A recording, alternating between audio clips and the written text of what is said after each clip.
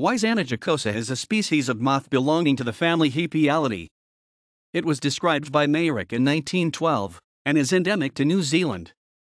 The wingspan is 34 to 38 millimeters for males and 44 to 55 millimeters for females.